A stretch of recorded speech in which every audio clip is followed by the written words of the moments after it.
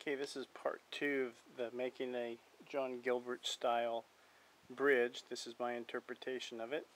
Okay, we've already cut this groove here. Uh, these other, there's three, one, two, three, four other grooves that are made. Okay, um, and it's done the same way that you saw these made before. Okay, so I'm going to give you the specifications on these. Um, I start out first with the, uh, this is an Amana tool bit, uh, part number 45192. It's a 330 seconds uh, bit, okay, and that's put in the drill press, and I drill the uh, slot for the saddle. Uh, the length of this is, uh, let me see here, the length is 2.625. I think that's like 2 and 5 eighths uh, length. In fact, all of these are uh, 2.625 in length. Okay, so I do this one. The depth is 150 thousandths. Uh, it's 330 seconds away from the edge here. So from the front edge to the front edge of the saddle is 330 seconds.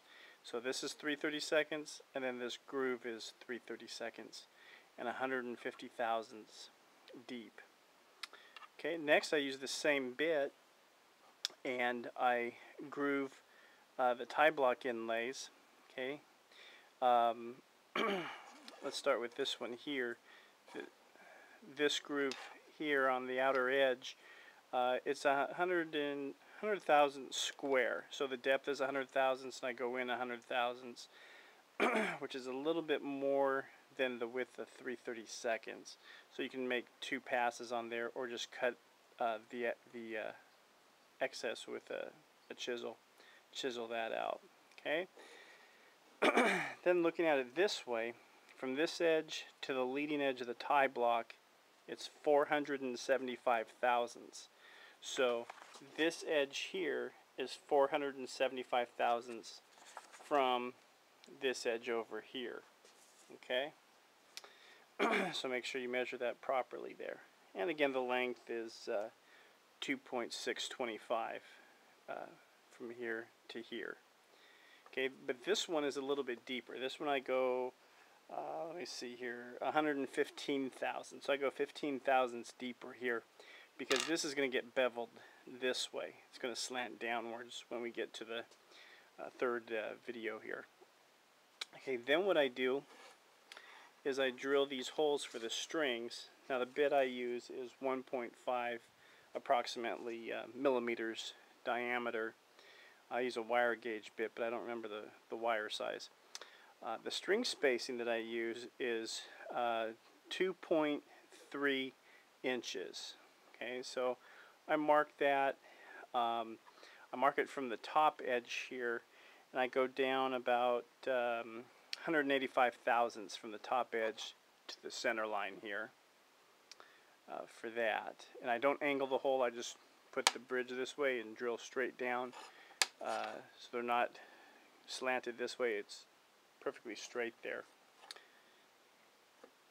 And then the final one that I do, I use this a 3 16 inch round nose uh, bit.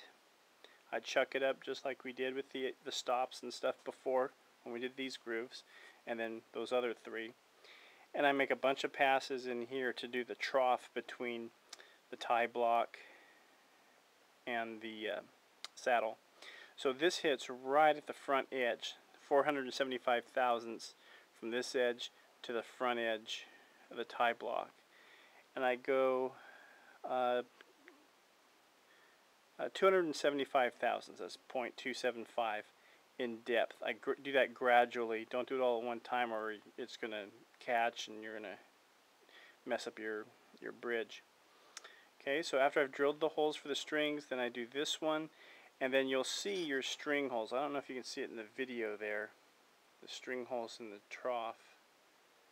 Okay, they're just peeking through there. Okay, otherwise if you do the trough and then drill the holes, you're going to get some tear out of the string holes. So after I do that, then what I do is I get um, I go buy a, a Melmac casserole dish, a white one, and I cut it up and I make my tie block inlays from Melmac. Okay, you can get that at Target. So for five bucks, you get enough for, oh, I don't know, 50 guitars or more of tie block inlay. And this stuff's really durable. So um, I cut it up into strips, and then those are glued into these slots so that you'll have the finished product that looks like this. Okay, that's been uh, sanded so it's flush with the edges and everything and this one's about ready to um, shape the trough here and then we bevel the wings and then we radius the, the bottom of the, the bridge. Okay, so I hope that um, helps clear up some of the mysteries of the Gilbert style bridge. Of course this isn't the pin style Gilbert bridge. This is a, uh, a bone saddle. The only thing that's different is your when you're using uh, pins, but the the specifications are the same. You're just using um, 332nd stainless steel wire for the uh, saddle pins. Okay, in this case it's going to be a bone saddle. Alright, see you next video.